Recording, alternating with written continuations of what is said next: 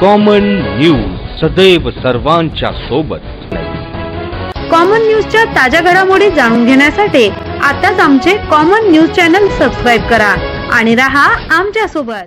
देशातील तसेच राज्यातील टीव्ही चॅनल्स आणि वर्तमानपत्रे ही मोदींनी विकत घेतली आहेत. त्यामुळेच कोणतीही सत्य गोष्ट सर्वसामान्य माणसांपर्यंत पोहोचू शकत नाही असे वादग्रस्त वक्तव्य काँग्रेसच्या आमदार प्रणिती शिंदे यांनी केलंय. भारताचा प्रत्येक नागरिक प्रत्येक युवक ह्याला धोका नाही आहे आणि ह्याला आपण पाहिजे तसं फसवू शकतो.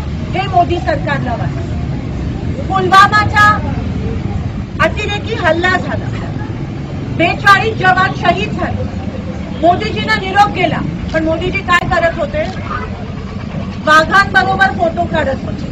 ते सेल्फीचं तर नाद त्यांना लागलाय. फोटो काढत होते. त्याच्यानंतर साडेतीनला तो हल्ला झाला.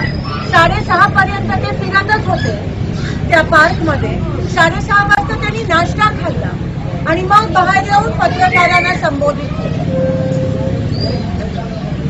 त्याच्यानंतर प्रचार सभा घेतली. हे आले ना तुमच्यासमोर? एवढा ते ड्रामा ड्रामेबाज करतात. एवढा नाटक त्या ठिकाणी करतात. आणि आपल्याला माहितीच आहे कारण का आपल्यापर्यंत फक्त त्यांच्या चांगल्या गोष्टी पैसे देऊन पोहोचत असतात. आता जर प्रत्येक वर्तमानपत्र प्रत्येक व्हॉट्सअप प्रत्येक टीव्हीवर दिसणारं चॅनेल जर भाजप आणि मोदींनी विकत घेतलंय तर तुमच्यासमोर खोटं येणारच.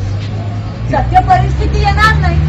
पंढरपूर तालुक्यातील कासेगावात प्रचार सभेत बोलताना त्यांनी हे विधान केलंय. तर त्यांच्या या वादग्रस्त वक्तव्यामुळे राज्यभरात खळबळ उडाली आहे सोलापूर लोकसभा मतदारसंघातून काँग्रेसचे सुशील कुमार शिंदे यांना उमेदवारी जाहीर केली आहे त्यासाठी त्यांनी जिल्हाभरात प्रचार सुरू केलाय. प्रतिनिधी इक्बाल अत्तार कॉमन न्यूज मराठी.